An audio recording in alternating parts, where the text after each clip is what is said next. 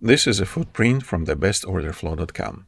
The main difference is that you can see three columns in this footprint. One column is a left of the candle bar and two columns on the right side of the candle bar. This is a cluster view of the same footprint that you can see anomaly clusters and also a clusters zone. So this is the footprint manual for the bestorderflow.com. The main option is number one option as simple. It is the margin in pixels from the right side. How far the first bar will be from the right side. Currently, it is 250 pixels. Next, the most important about this footprint is that it comprises of the three columns. First column on the left of the bar is designated for volumes. Second and third is for the bid and for the ask.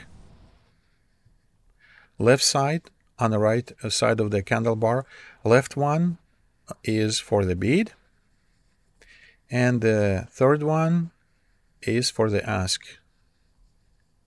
Let's talk about the left side of the footprint and fine tune it to show our volumes in the way that we want it to.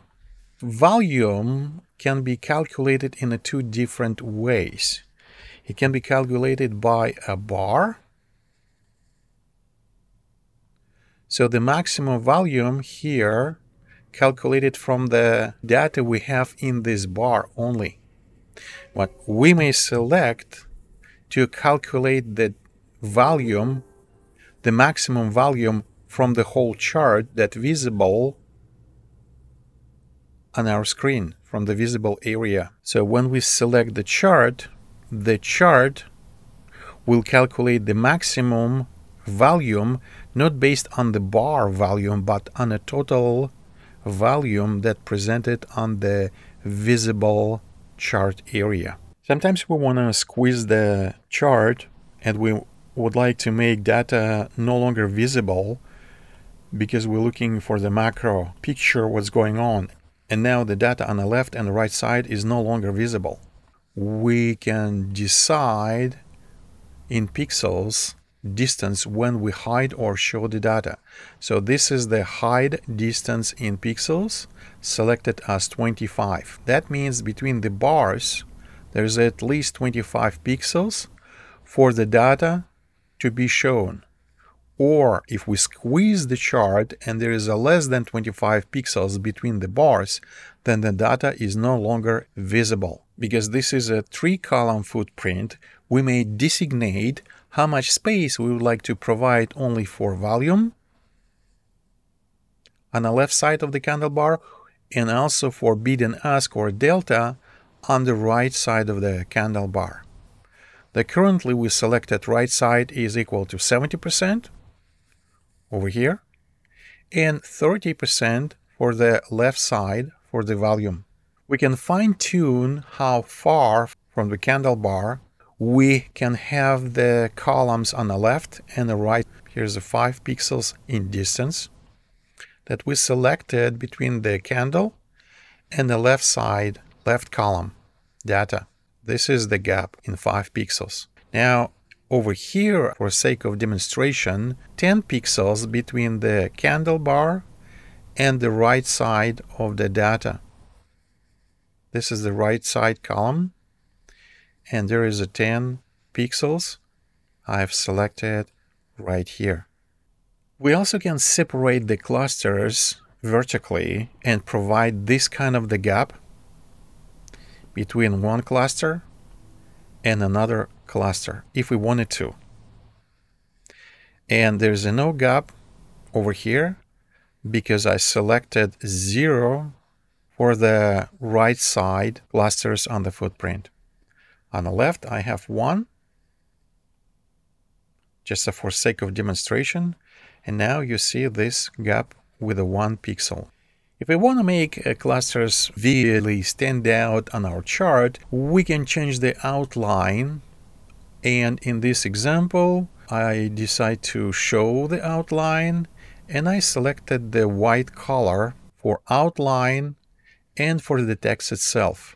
So now you see this white outline on each cluster and the white text for the volume. Now let's take a look at the font and the way the font displayed on the footprint. You see um, color for the font, you see the size for the font, and you also can see that some font is in bold, like number 6 over here, number 10 over here. When we squeeze the chart, the chart will hide or make smaller the numbers on the footprint become less and less in size and at one point it will be completely hidden. Now there's no numbers on the left or right side of the footprint and how we achieve it with the options under the section 2 we can fine tune when the font will be hidden, but we can choose the font increment divider rate how fast the font can be changed. Currently it is 7. We can choose the font, what kind of font it is, the mm, Consolas right now. We may select the boldness of that, maximum font size, minimum font size, and fine tune the way the numbers displayed on the clusters. Under section 3, we can fine-tune the right side of the footprint. On the right side of the footprint, we can display bid and ask, like it is right now, bid on the left side and ask on the right side. Or, instead of bid and ask, we can select show us only a delta. And delta is the difference between bid and ask. It represents in a one single column on the right side of the candle. This footprint let us uh, display imbalances. For example, this green zone, it is the imbalance zone. And this um, bold, luminant green color 6 and 11 and 9, it is the imbalance on a buying side. Or we can show the selling imbalance zone. This is the selling imbalance zone because those bold numbers on the bid side, 6 bold, 5 in bold, 8 in bold, and 6 in bold as well. We can fine tune all of this information and how the uh, imbalances show up on our chart with the section 4 imbalances. Now, this imbalance in bold 6 I put in a border with green how do we calculate imbalances? The imbalances, it is the aggressiveness on a one or another side. And the way we calculate aggressiveness is with the imbalance ratio is selected 210. 210 is the percent that each ask should be 200 or more than the bid in a diagonal calculations. Okay, so this is the buying imbalances. This is buying imbalances. This is single buying imbalances, and this is single buying imbalances, and same over here in bold. In this example, we can see the difference between these two is equal or more than 210%. So let's take a look over here. That the bid equal to 1 is less than 6 for 200 or more percent. And the bid 4 is less than 11 on the right side for the ask. The same for the bid here, 5 and 15. Okay, which is actually happens right here 5 and 15 over here. So this is the condition for the imbalance ratio calculations that you can adjust according to whatever the instrument you're working and a time frame. It may be a different. And same for the selling imbalances. The selling imbalances, I decided to show it with this color, magenta, represent with the numbers that ask tree is 200% less than 11. The same with the 0 and 12. 5 and 15, which is right here 5 and 15, 12 and 0, and 11 and 3.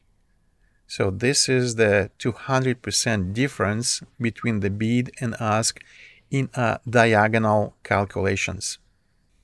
So the imbalances are highlighted with a bold and a color on each side, which you can select under the this option for properties. There's a many different ways you can select the style, the way it looks, the way it feels, the colors, all of that for the imbalance, how the imbalance numbers looks like, and how the imbalance zones looks like. There is a single imbalances and there is a zone imbalance zone. The imbalance zone calculates by the number 3 which I selected over here if there is a 3 or more imbalances close to each other and there is a no gap, vertical gap between them, then it become a zone. So this is the selling imbalance zone and this is the buying imbalance zone. The imbalance zone can be continued to the right or can be closed by conditions that we selected. So there is some imbalances like this uh, or even this one is still going to the right unless there is a two conditions met. We can close this zone or any of these imbalance zones because we may select how it's gonna get crossed by. If it crossed by the POC, like in this scenario, this imbalance zone crossed by point of control of this candle, this candle, and this is the point of control. It's already past that zone, so this zone is no longer continuous to the right. But this one is continuous to the right, it's not closed because it's not crossed by point of control of this candle. And that's where we can select it, how we close the zone with the point of control or simply the zone will be closed if the price will go over this zone and this zone will no longer keep going to the right. It will be closed right over here. And there is uh, other options to show or close the zones, uh, for example, with the end of the session. So you no longer will see the zone continues on the new session and you may select to show all historical zones right over here. Under the section 5, we can select how we would like to display absorption. This is the buying absorption, and this is the selling absorption. There's actually two selling absorption right here. In order for absorption to being displayed on the chart, we need to have three conditions met. Three conditions. Now, the first condition is the ratio. That's the way we calculate. So the imbalance should be at least 400%, not 210, but 400%. In this example, an example of the buying absorption, we have the 12 12 is the imbalance. It is the selling imbalance. And the 12 is 400% higher than 2. So that's the first condition. The second condition is we should filter by volume. Okay, this is filter by volume. This is the ratio of 400%. This is the second filter by volume, that the volume should be no less than 10 and obviously 12 is more than the filter 10. That's why it shows. And the third condition is depth that we may select right here is the 6 ticks. So the price from here travel at least 6 ticks. This is the price line in order for our absorption become visible as a signal to us. So the selling absorption over here calculates that we have a buying imbalance. This is the buying imbalance. Okay, 19, which is more than 2 for 400% or more. 19 is also, according to our filter, is 19 is more than 10. So it's valid. And now we can see that the price travel from this area when it travel more than 6 ticks which we selected over here as a depth, then imbalance become visible to us as a signal. And a selling absorption, what does it mean selling absorption? That means all these extreme buyers with their imbalances no longer able to move the price up and it become a signal for us for sale. And the same for the buying absorption. On a buying absorption, we see that sellers, aggressive sellers, they create imbalance. They try to sell, but all their sales were absorbed and no longer move the price down. That's why the buying absorption means a potential signal to buy. So the price actually went higher and it created a green candle.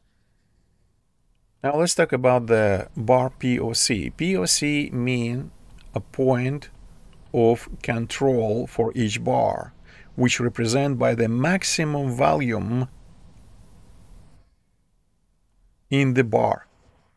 So 65 is obviously more than 51, 45 and 37. So this is the POC area for this bar. And we may decide if the POC will be uh, shown to us only on the left side, only on the right side, or on both sides, like it is right now on both sides. We may select the color, we may select the uh, overlay opacity, overlay color, when we select the border if we wanted to, and so far I selected the yellow because that's the, my favorite color for the POC. And under section 7, we can fine-tune how the footprint style for a volume look like. So there's many different options like the like the color of the each cluster or the the font so it become uh, visible on this background.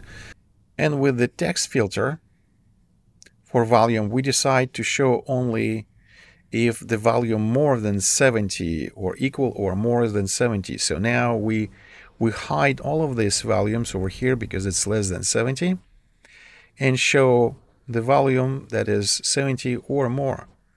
Under the same section, 7 footprint style for volume, we also have a special way to tune our cluster's zone. This cluster zone is become visible because we use 150 as a filter and a zone filter for volume. So now we don't see every other cluster on the left side. We can see only clusters for 150 and larger. The same with this cluster zone. This cluster zone is filtered out because it is higher than 150. And we can select the, the way that this zone is get closed by the POC. If this is the candle and the POC is kind of crossed, that zone, then it's become closed. Okay, no longer continues to the right. Or if we select that zone can be closed by the price line. If the price is kind of achieving this cluster zone and crossing this zone, then this zone is no longer keep to the right. It will be closed. If you want to see clusters only and cluster zones, you can fine tune with the section 2, 3, and 7 like it's done over here section 2, 3, and 7. So now you can fine tune to show clusters, the individual clusters like this one, and zones like this zone or this zone. And you can see that clusters play a significant role as the support and resistance zones. There is a extreme cluster sitting right here and right here. And the price actually bounced back from this zone and traveled down to another cluster. It founds this cluster and you see reaction from this cluster again. So these cluster zones become really powerful support and resistance zone that is not visible if you just uh, consider a price actions. We can fine tune the right side of the candle bar. So if we select bid and ask over here, we can see two columns left for the bid and right for the ask. Left for the bid and right for the ask. Or we can choose to show us only a delta, which represents the difference between bid and ask, and show us in a one single column right of the candle.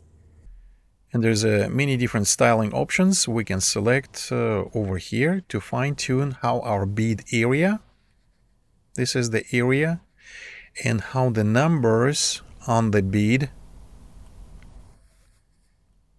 text looks like on a bid and the ask. For example, this is the ask area and how the text is standing out on the background for the bid and for the ask.